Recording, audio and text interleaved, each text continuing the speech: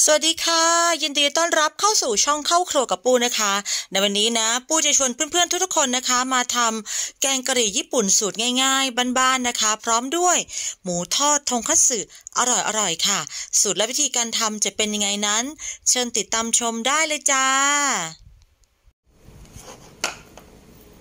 หมูสันนอกค่ะสองชิ้นนะ กินกันสองคนนะคะ กินสองคนคนละชิ้นพอค่ะ ทุบนะคะ เดี๋ยวจะจัดการทุบหมูนะนะคะ เวลาที่เราไปหมักนะคะ แล้วทอดแล้วก็หมูจะได้มีความนุ่มนะคะ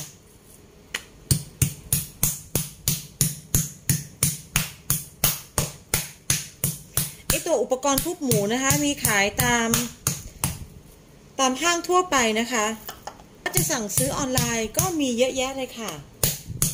อันนี้มีติดบ้านไว้นะคะ มีประโยชน์มากๆเขาจะมี 2 ด้านด้านที่เป็นปุ่มๆแบบนี้ กับด้านที่เป็นเรียบๆนะคะ แต่ผู้ชอบใช้ด้านที่เป็นปุ่มๆนี่มากกว่านี่นะคะ พอเราตบๆเข้าไปนะคะ ทุบๆเข้าไปนะมันจะเป็นรอยนะคะ จะทำให้หมูของเรามีความนุ่มมากๆเลยค่ะเกลือนะคะ โรยด้วยเกลือ ริกไทยค่ะ ผู้ใช้เป็นพริกไทยดำนะคะ ทั้งสองด้านเลยค่ะ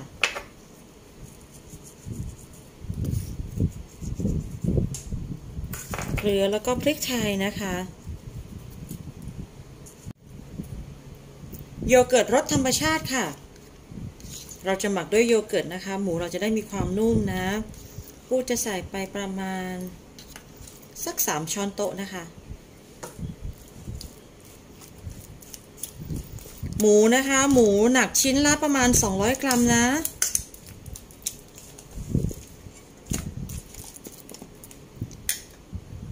ประมาณ ใส่ตู้เย็นช่องธรรมดาค่ะ หมักทิ้งเอาไว้นะคะ 30 นาที การปอกเปลือกนะคะ แครอท แครอทกับมันฝรั่งนะคะ ปู้จะใช้แค่อย่างละหนึ่งหัวค่ะ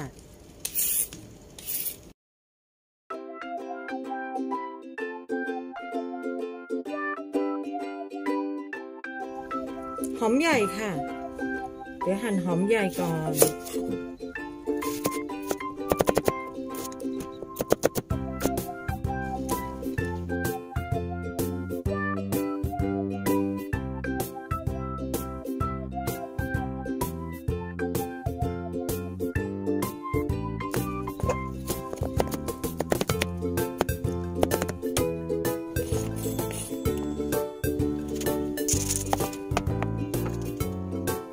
ตั้งกระทะนะคะ แล้วก็ใส่เนยลงไปค่ะ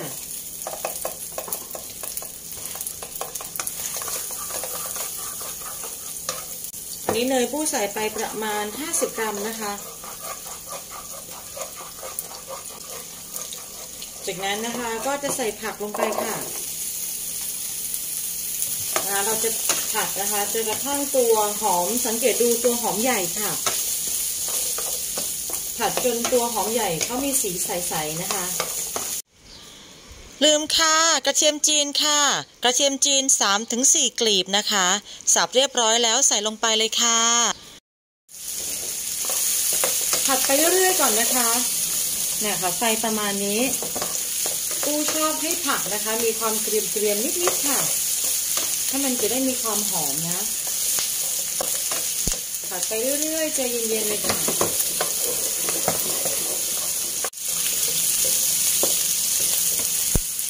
นี่ค่ะ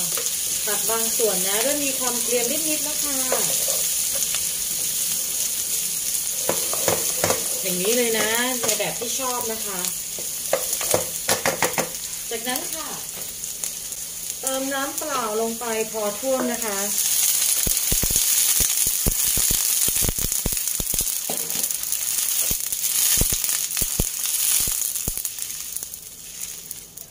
แล้วก็พระเอกของเราค่ะ แกงกะหรี่ก้อนนะคะเดี๋ยวเขาจะแบ่งเป็นสี่ก้อนอย่างค่ะมันมีร่องให้บีใส่ไปได้ เอาแบบเข้มข้นนะนี่ปู้จะใส่ไปเนี่ยใส่ไปสี่สี่ก้อนสี่ช่องนี่ค่ะ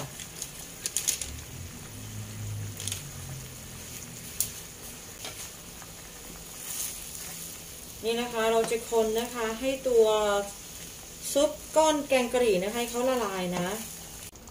หมั่นคนนะคะ แล้วก็เราจะเคี่ยว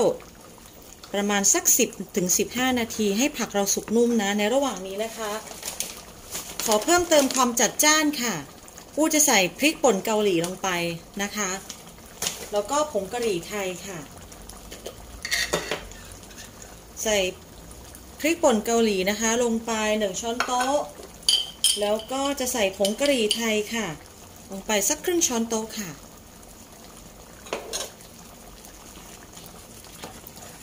รสชาติก็จะเข้มข้นจัดจ้านขึ้นนะคะ จริงๆแล้วใครไม่ได้ทานรสจัดนะคะแบบปู้นะคะ ก็ไอตัวผงซุปก้อนไอซุปก้อนแกงกะหรี่นะคะ ที่เขามีสำเร็จรูปนะคะ ขายตามซูเปอร์มาร์เก็ตชั้นนำทั่วไปนะ อันนั้นก็รสชาติดีอยู่แล้วค่ะ เขาปรุงมาได้ รสชาติเป๊ะปังปุริเย่อยู่แล้วนะ ไม่ต้องเพิ่มก็ได้นะคะ แต่อันนี้ปูอยากลองใส่ดูนะว่ามันจะเป็นยังไงนะคะ เดี๋ยวขอชิมนิดนึงค่ะ เนี่ยค่ะ ถ้าเผื่อมันข้นเกินไปนะ ก็เติมน้ำนะเพราะเราจะเคี่ยวอีก 10 นาทีนะมันจะงวดลงอีกนะคะ เติมน้ำเข้าไปอีกได้ค่ะ ชอบน้ำเยอะๆนะ วิตข้าวนะคะ อร่อยนะคะ ตักราดข้าวเยอะๆำไปชิมไปนะคะทำไปปรุงไปเติมนู่นเติมนี่ค่ะ ขาดเหลืออะไรก็ใส่เพิ่มลงไปได้นะคะทำกับข้าวนะ ให้มีความสนุกนะคะ อ่า เดี๋ยวขอชิมนิดนึง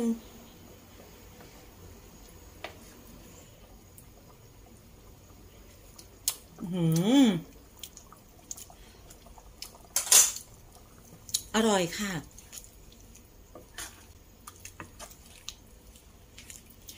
พอใส่ตัวผงกะหรี่ไทยลงไปนะคะ มันจะมันจะมีความหอมๆนะ กลิ่นเขาจะเป็น หอมแรงนะคะ อันนี้ไม่รู้ว่าเรียกผงแกงผงกะหรี่ไทยหรือว่าผงกะหรี่แขกนะคะอืมน่าจะเป็นผงกะหรี่แขกโหกลิ่นหอม กลิ่นฉุนหอมหอมมาก ๆ เลยค่ะ แขกโห อยากได้รสชาติเผ็ดๆอีกนะคะ ปู้จะใส่ตัวนี้เข้าไปเพิ่มอีกหนึ่งช้อนโต๊ะค่ะ เป็นพริกแห้งนะคะ พริกแห้งโขกหยาบ ถามว่าเคี่ยวไปถึงไหนถึงจะพอนะคะ ใช้ตัวมันฝรั่งที่เป็นตัววัดได้เลยค่ะ ว่าเราว่าผักเราสุกได้ที่เราเคี่ยวได้ที่หรือยังนะคะ เอาซ่อมจิ้มลงไปค่ะ จิ้มเข้าไปได้สะดวกนะคะ ก็แปลว่าเป็นอันใช้ได้ค่ะ แต่อันนี้มันรู้สึกมัน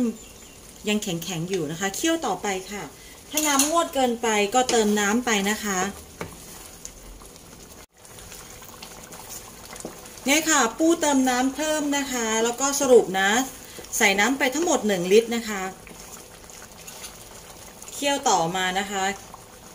เนี่ยค่ะ ทดสอบโดยการใช้ซ่อมจิ้มลงไปนะคะ คราวนี้นะคะ จิ้มง่ายมาก ๆ เลยค่ะ มันฝรั่งของเรานะคะ นุ่มนิ่มมาก ๆ เลยค่ะ เอาละได้ที่แล้วค่ะ ประมาณนี้นะคะ ผักทุกอย่างสุกนิ่มนะคะ สุกนุ่มดีแล้ว ปิดไฟได้เลยค่ะ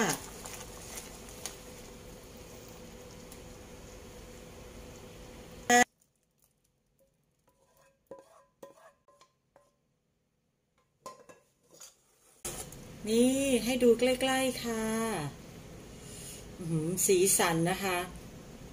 น่ากินมากๆ รสชาติก็อร่อยเข้มข้นเป็นรสชาติแบบไทย ๆ เลยค่ะ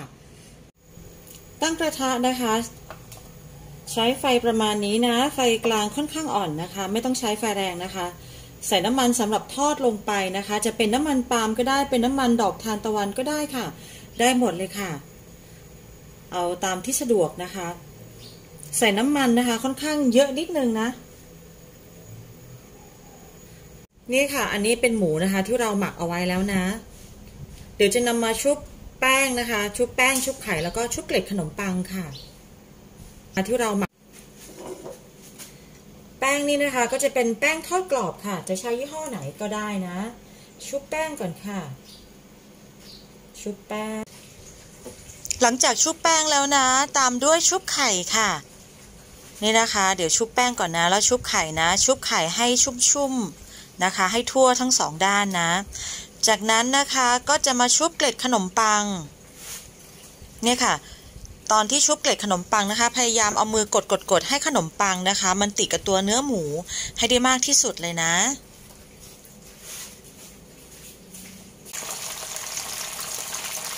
หยอดน้ำส้มสายชูเล็กน้อยนะคะ ลงไปนิดเดียวค่ะ จะช่วยให้หมูทอดของเราไม่อมน้ำมันนะคะ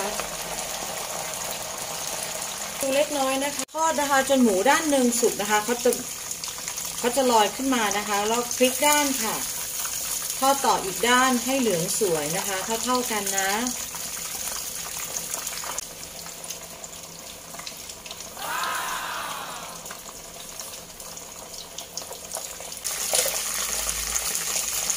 ปูจะใช้เวลาทอดนะคะ ด้านละประมาณ 3 นาทีค่ะ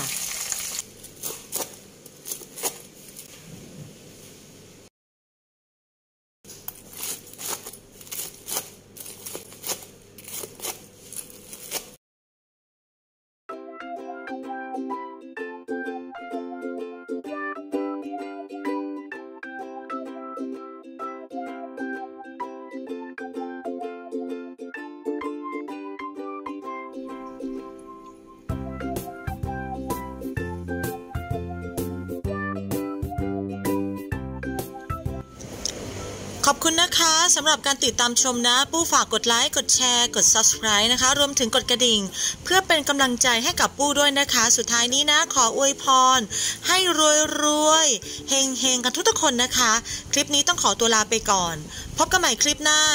สวัสดีค่ะ